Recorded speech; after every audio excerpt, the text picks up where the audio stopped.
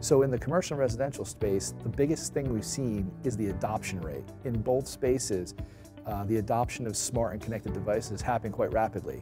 In the residential space, there's two that are key to point out. The first is the dominance of voice control over that industry. It's just everywhere that voice control becomes the platform of choice or the way that uh, we interface with our smart objects. The second in the residential space is, is a tremendous amount of adoption around security and, and leisure or comfort. So in the commercial space, there's two more that I'd like to talk about. The first one is our workforce is getting younger, and they expect the facility to have many of the functions that they have at home. And the last one is that there is an expectation that the facilities and that when you go to work, that you don't have to give up some of the functionality and technology you have at your home. Here at Legrand, we're addressing many of these trends in a few ways.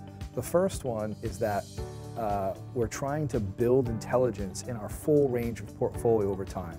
This will allow us to have um, our entire suite of project products in that sort of connected, intelligent range, allowing us to interact and improve the lives and the uses of all these different spaces. The second way is really working with great partners that sort of match our place in the industry, which is becoming a trusted partner to our end users.